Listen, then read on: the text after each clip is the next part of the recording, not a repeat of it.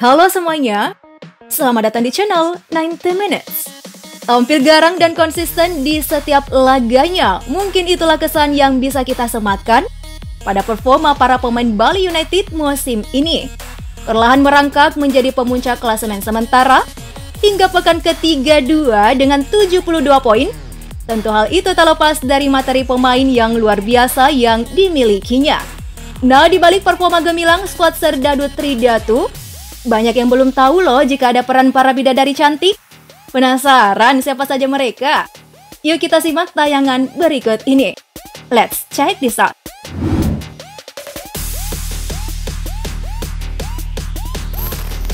Yang pertama ada nama pesepak bola asal Bantaeng, Sulawesi Selatan, yakni Irfan Jaya. Winger lincah satu ini cukup berani mengambil resiko dengan menikah saat usianya 19 tahun. Keputusan menikah muda bukan bagian tradisi dari Bantaeng, melainkan sebagian keluarganya juga memilih untuk menikah di usia muda. Ia pun cukup beruntung, meski menikah di usia muda bukanlah sebuah masalah sebab sang istri yang bernama Sri Lestari kerap kali mendukungnya di dalam maupun di luar lapangan. Kini kehidupan rumah tangga mereka kian lengkap dengan hadirnya dua orang jagoan cilik bernama Muhammad Raditya Sanjaya dan Muhammad Rafiandra Sanjaya. Nah, semoga jagoan ciliknya bisa ikut jejak sang ayah. Mari kita doakan saja ya guys.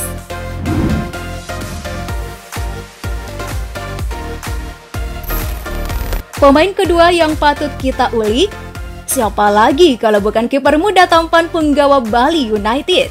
Nah, kisah cintanya dengan Destiara Sari rupanya cukup menguras hati loh guys. Pasalnya mereka harus terpisah dengan jauhnya jarak, atau anak muda zaman sekarang sih menyebutnya LDRan guys. Setelah memantapkan hati kepada wanita cantik asal Kalimantan Timur itu, Nadeo memberanikan diri untuk menikahinya pada tanggal 28 Maret 2021 lalu. Kini Nadeo dan Destiara tak lagi gusar dalam menjalani hubungan, sebab setelah resmi menyandang status suami istri, keduanya sudah bisa tinggal satu atap. Gak sia-sia ya perjuangan selama enam tahun? Hmm, buat kalian para pejuang LDR, semoga cepat sah ya.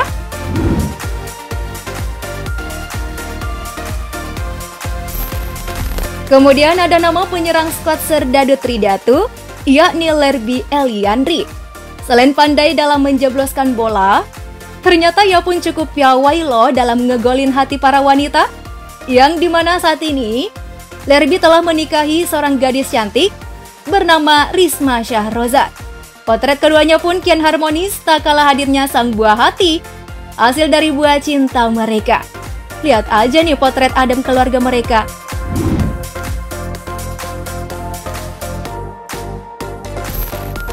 Memiliki paras yang tampan bukanlah suatu hal yang mustahil bagi Gavin Kwan Atsit dalam menaklukkan hati perempuan yang sudah tidak asing lagi di dunia hiburan Indonesia.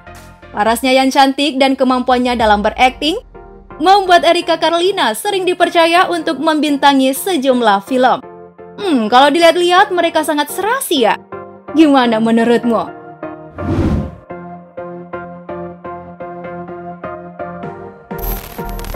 Selanjutnya ada Gunawan Dwi Cahyo dan sang istri. Pasangan ini jarang diterpa kabar miring terkait keretakan rumah tangga. Hanya itu, keduanya kerap tampil romantis lantaran sering membagikan kedekatan dan kebersamaannya di unggahan sosial media.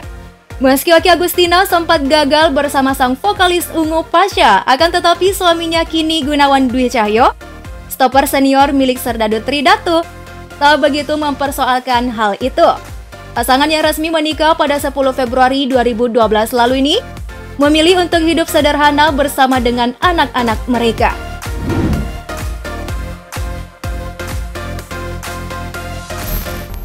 Next ada darah cantik milik Imade Andika Wijaya bernama Linanda Anindita. Nah, wanita yang kerap disapa Lina ini tak hanya memiliki wajah manis, akan tetapi ia juga memiliki bakat dalam menyanyi.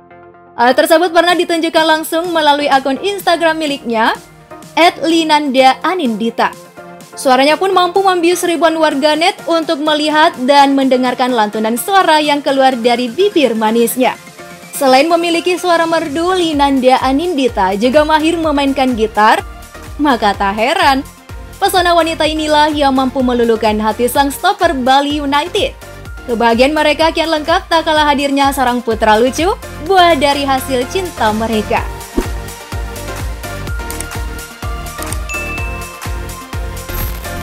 Next ada Stefano Lillipali. Pemain ini tentu sudah tasing lagi bagi kalian para pecinta sepak bola tanah air. Hingga saat ini, tak salah jika kita menyebut seorang Stefano Lillipali menjadi pemain naturalisasi tersukses.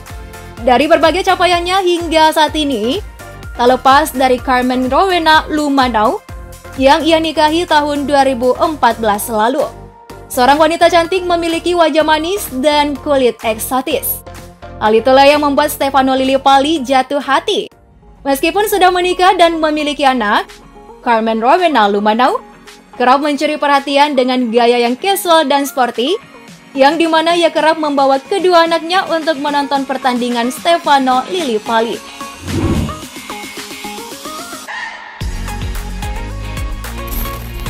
Selanjutnya ada pemain yang berposisi di back kiri yang kerap mengisi starting line of Bali United, Yup, nama Ricky Fajrin memang cukup populer lantaran dirinya kerap menjadi langganan timnas Indonesia.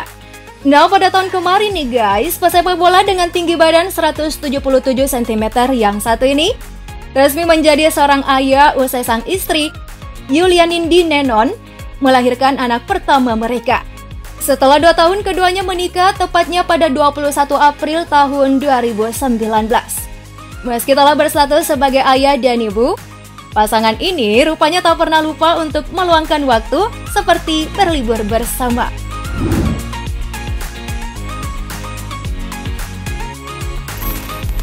Salah satu pemain Bali United yang pamornya sedang melejit yakni Dias Angga Putra. Pemain kelahiran Bandung 33 tahun silam ini bukan hanya punya wajah rupawan, tapi permainannya juga apik dan berkelas di barisan pertahanan Serdadu Tridiato. Namun bagi kalian para kaum hawa harus kecewa nih. Lantaran dia sendiri sudah menikah dengan wanita bernama Tita Hayati. Tepatnya pada 1 November 2014 dan sudah memiliki seorang anak perempuan bernama Giselle Asila. Seperti kebanyakan istri para pemain Bali United lainnya, Tita Hayati juga kerap mendampingi dan menyaksikan penampilan Dias Angga saat sedang bertanding.